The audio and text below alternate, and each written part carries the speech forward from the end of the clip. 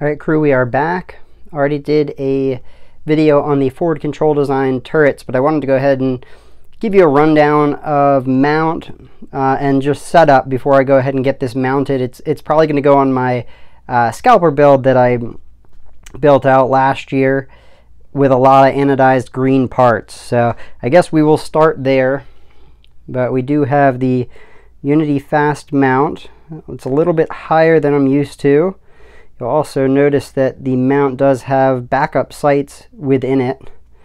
Um, so got the front there and then you can see the back. Um, this one is off of Custom Night Vision.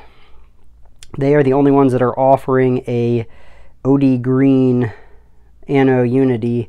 So I snagged that up. The T2 itself is off of Brownells.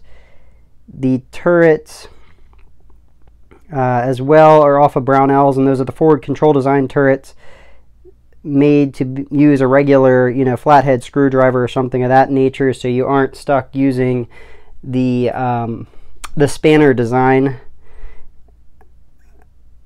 which is those guys there. Um, so with the multitasker nano here, I now have an option of using this side, or if I had to pop the the forward control design turrets off, I could go back to using um, the spanner design. So let's go ahead and hop into what else came in the box and what are the features on this optic. So you're obviously going to have your English user manual and then you have your multilingual manual there. Some foam and then they do give you a a tool that works with their spanner turrets I do have, and then this also has just a little Torx there for tightening down. And then either side can be used on the, the battery cap itself as well. So, and outside of that, I threw this in there. This is all for the, the Unity mount came with its own wrench due to the, the height of it. Um, a little bit more depth to, to get in there and, and tighten it up. So that is what comes with it as far as the, the features and why I went ahead with the T2. Um, obviously, I am running night vision. This does offer four different night vision settings, eight daylight settings, and there is one setting um, that my understanding is a little bit higher intensity for if you're out in the desert um, or somewhere with a lot of light.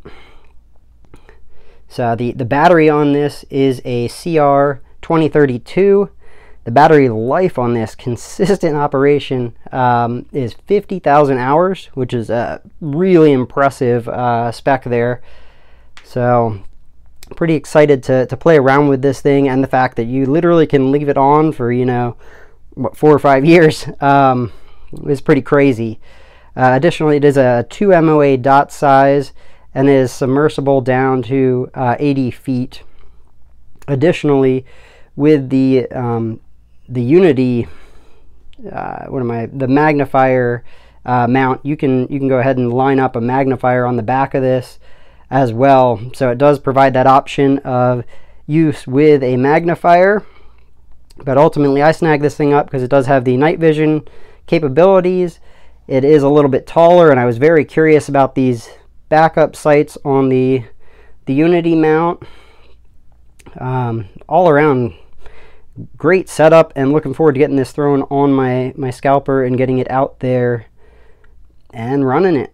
It's definitely going to be a, a, big change having uh, this tall of a, amount, which should be 2.26 if I remember correct. It's a pretty substantial uh, difference compared to the EOTech, uh, the EOTech that I have been running on that particular build.